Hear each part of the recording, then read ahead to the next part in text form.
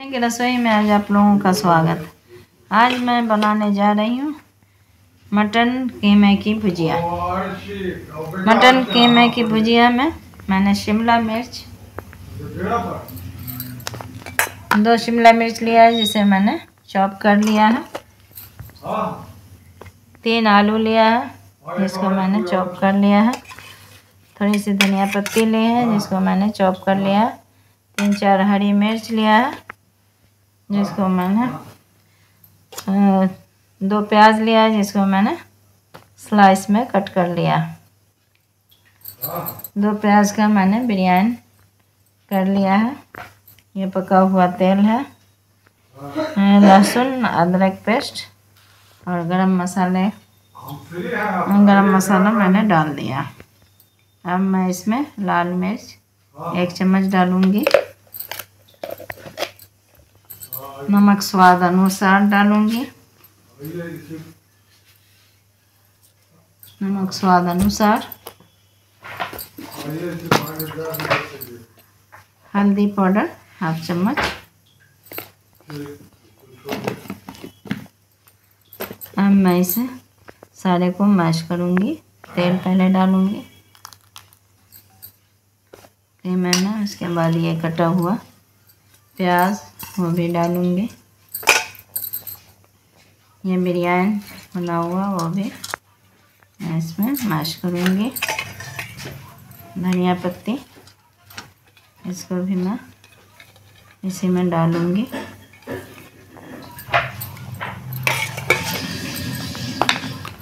और ये हरी मिर्च, इसको भी मैं इसी में कट करके दूँगी।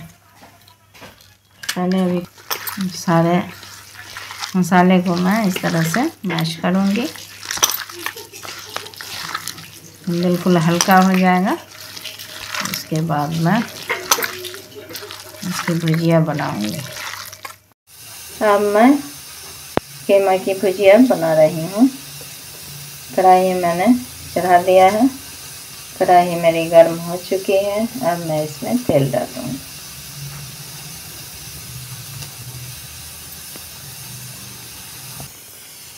अब मैं तेल डाल रही हूँ।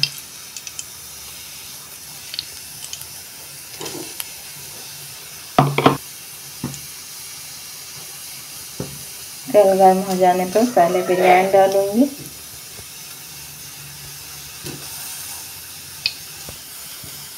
कढ़ाई मेरा गर्म हो चुका है। अब मैं पहले इसमें बिरयानी डालूँगी। तेल गर्म हो चुका है।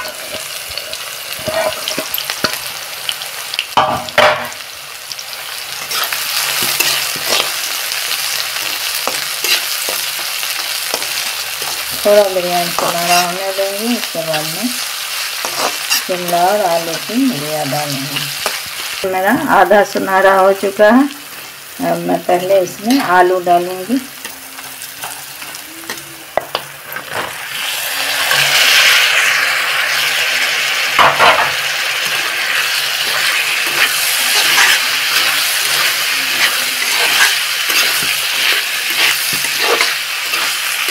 आलू के बाद ये शिमला मिर्च दोनों को मैं इसको अच्छे तरीके से इसे भून लूँगी। उसके बाद कीमा डाल दूँगी। स्वाद अनुसार इसमें मैं डालूँगी।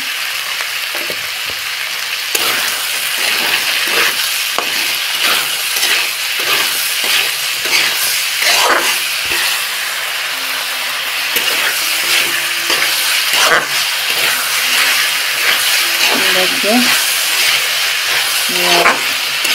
आलू और ये शिमला दोनों भुना चुका है। और मैं इसमें कीमा डालूँगी। मटन कीमा डालूँगी।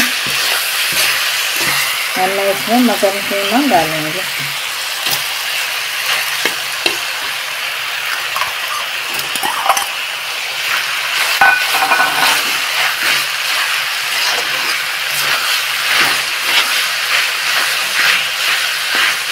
कीमा को भी खूब अच्छे तरीके से चलाते रहेंगे बराबर, ताकि मटन कीमा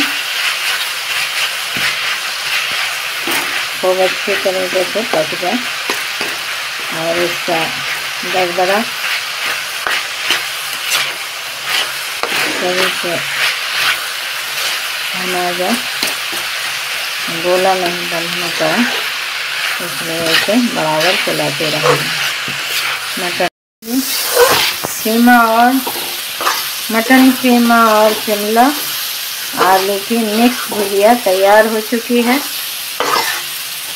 लाइक करें, सब्सक्राइब करें, शेयर करना ना भूलें। थैंक यू, शुक्रिया।